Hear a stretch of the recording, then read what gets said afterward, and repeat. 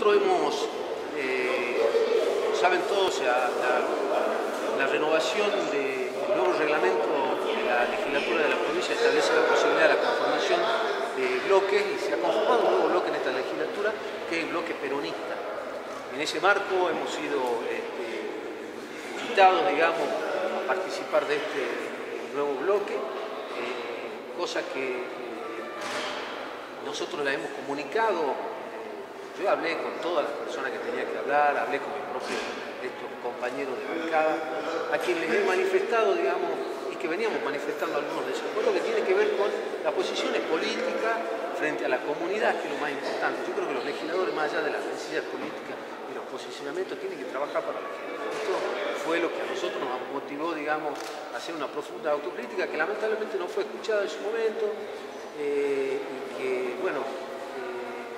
y otra cosa que es importante destacar es que el Frente Unido y Organizado estaba conformado por el movimiento Evita, que no forma parte del Frente, también por eh, Forja, el Partido de la Concertación Forja, que ya no está en el Frente Unido, en el Puyo, el Frente Unido Organizado. También por este, el Partido por la Concertación Forja, estaba también este, la red de organizaciones sociales, que tampoco está, eh, y bueno, y algunos compañeros militan conmigo hace más de 25 años, yo como afiliado al Partido Justicialista, nos pidieron, hicimos una reunión de volver al partido, a nuestros orígenes, que es el Partido Justicialista, y desde ahí colaborar y ayudar la parte política a reestructurar el Partido Justicialista que estaba vaciado. En la parte este, institucional, si se quiere, otros compañeros del bloque nos han planteado la necesidad de hacer una oposición responsable, que implica criticar las cosas que están mal, acompañar también lo que sea bien para la provincia, pero también una cosa que no se da mucho, que es aportar. Nosotros como diputados también tenemos que aportar para que a los jujeños les vaya mejor y ese es el desafío que hemos eh, decidido Cuando usted dice que van al bloque peronista, ¿van al bloque que,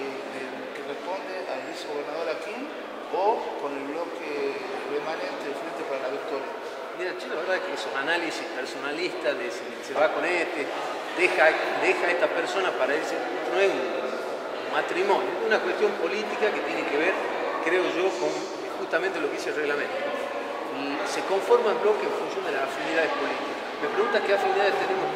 eh, con, los diputados que forman este nuevo bloque. Bueno, la primera afinidad es la de hacer una oposición constructiva. ¿Alguien más ha adherido este nuevo bloque? Yo, no, yo tengo, por supuesto, eh, viene el diputado Carlos López, que como todos saben forma parte o formaba parte del Frente para la Victoria, el diputado eh, González, que también forma parte del Frente, el diputado Llanos también, que va a ser presidente del bloque. Bueno,